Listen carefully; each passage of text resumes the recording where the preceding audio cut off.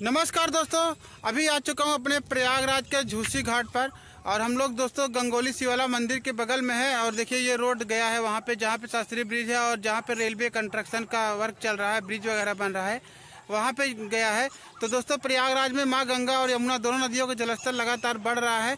तो जिसका स्तर दोस्तों पूरे क्षेत्र में देखने को मिल रहा है। हम लोग झूसी क्षेत्र में आए हैं और इस साइड देखिए, इधर बद्रा सोनौटी है इस साइड।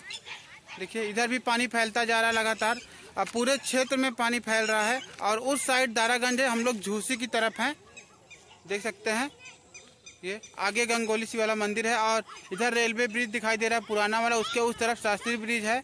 और रेलवे जस्ट बगल में भी नया वाला बन रहा है, जो वाराणसी से लेकर प्रयागराज रेलवे दोहरीकरण के अंतर्गत काम चल रहा है, वो भी बन रहा है। और उसका दोस्तों, जो सामान वगैरह था गंगा में हटा लिया गया, क्रेन वगैरह, पानी बढ़ने की वजह से आइए फिर बैक कैमरे से दिखाते हैं जो कि शाम होने वाला है अभी। ये दोस्तों आप लोग देख सकते हैं, पानी पूरा यहाँ तक फैल गया है। और सूर्यास्त भी हो रहा है। उस तरफ़ देखिए दशा सुमेर घाट है वहाँ का।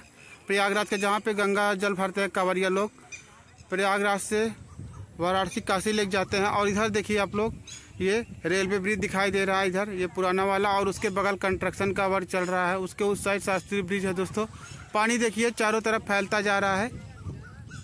गंगा और यमुना जलस्तर बढ़ने से पानी फैलता जा रहा है। देखिए, इधर भी नाव चलने लगी हैं। इस साइड भी।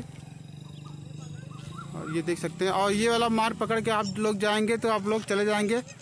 अंदामा चौराहे पे सीधे चले जाएँगे। जब मेला वगैरह लगता है तो इधर भी देखिए। इधर से गाड़ी आती जाती हैं।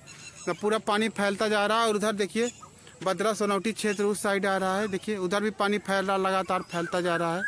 और यहाँ पे भी देखिए, नाव वगैरह सब चलने लगी हैं।